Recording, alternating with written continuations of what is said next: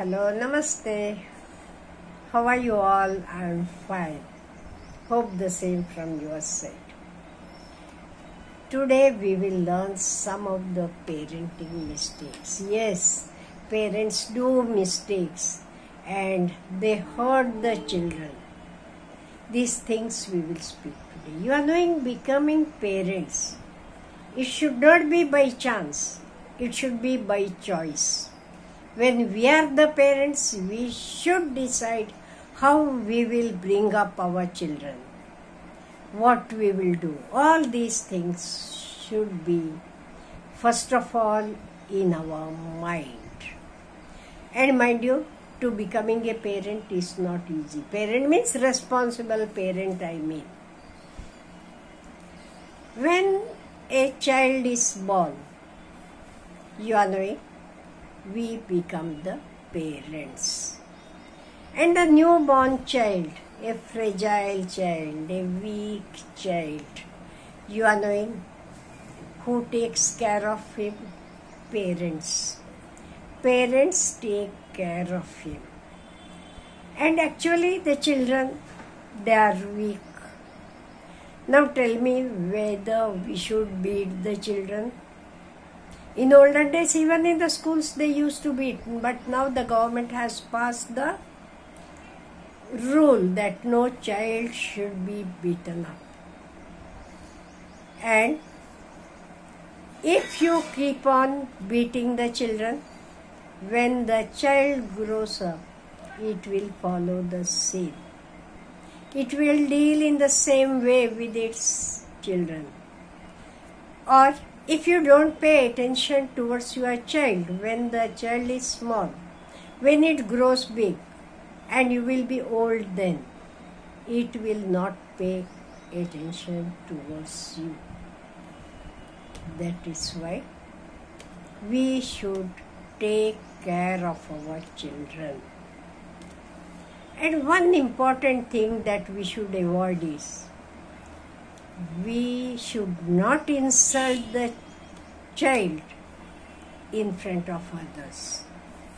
Otherwise, some parents are having the habit that your cousin, look at him, how good he is, how beautifully he writes, and what you are in front of all the people they speak.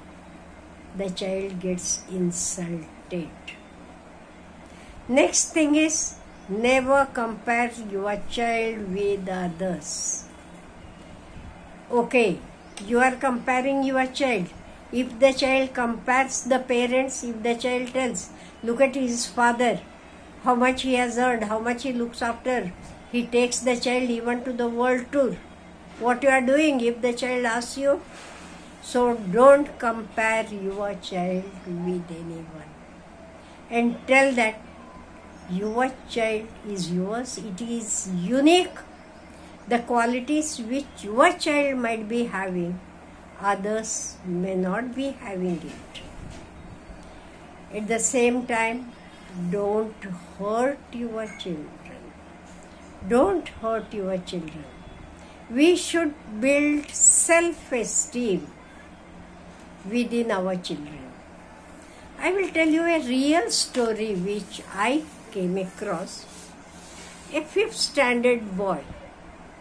His name was Saurabh. Many years back it happened when I was teaching in the school. And when he was in fifth standard, his mother gave birth to another boy child, means he got a younger brother. Parents were fond of cricket, so elder one they had named Saurabh. So the younger one they wanted to name Sachin. At that time Sachin was at the top. And you are knowing Sachin means uh, god of cricket. There are no other words. So this young boy, fifth standard boy, just 11, 12 years might be, he said no. Sachin is god of cricket he is greater than all others. So you will not name him Sachin. because he himself was Saurabh. So the parents afterwards they named him Gaurav. This is what the mentality of the children. Many times we think that children don't do, don't know anything. Even if you do anything, so many times you insult them or uh, in front of other people, you feel he is a child. What he knows? No, don't do like that child has got its own way of thinking, its own thinking. My own example, I will tell you. I was two and a half years old when my younger sister was born.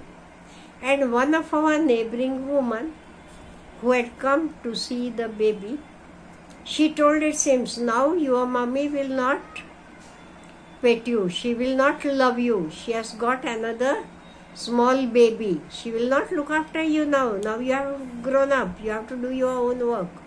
And I cried a lot, it seems, at that time. No doubt ours was a joint family. My auntie was there, my loving auntie, whom I loved a lot. My grandfather was there. So I overcome that. But this is unknowingly. That to neighboring lady, what work she had to do there to uh, tell the same thing to a small child of two and a half years. What the small child knows. So, never insult the small children or um, don't hurt them. Not only insult, don't hurt them. Instead of that, give them their own place. Suppose you are having a party you are going to cook something. Call your son or daughter, whoever there, ask them what menu we will have, whether we will have like this. Discuss with them, they will be happy. Or whenever you are going out, at that time also discuss with them how many days we will stay there, what we will do there, what we will see there, what will be our enjoyment, everything. So, in this way, if you take your child and make him a part of the discussion in the uh, family, the child will become more confident. So, we parents should make the child confident. Instead of that, many times we compare the child with the other children and we make him to feel himself small you don't know this thing, you don't know that thing. Look at that boy, he knows this, and look at that girl, how clever she is, this and that. No, never, never do this. Your child is a unique child. Your child may not be good in studies, but he might be good in drawing, he might be good in dancing. So look at his plus points and if possible encourage his plus points. Usually, what we do, we try to encourage the weak points. Suppose your child is good in badminton but he is weak in maths. Then you will arrange for a private tuition. For which subject? For um, badminton? No. For maths, which he doesn't like. Instead of that, if you encourage him to do well in badminton, he will do more because he has got his own interest. And some skills are given by God by birth. For example, singing or dancing. You are knowing some things are by birth. We say by birth he has got that quality. So these qualities which your child has got by birth you can develop this with much more guidance, with much more training. Instead of that, we always take the point where he or she is weak and keep on speaking on that. Speak on insulting him, speak on hurting him. No, we should not do this. Every child is unique we should support the child. He is good in many things. Let us look at that. Let us look at his plus points and let us support him. Have a good day.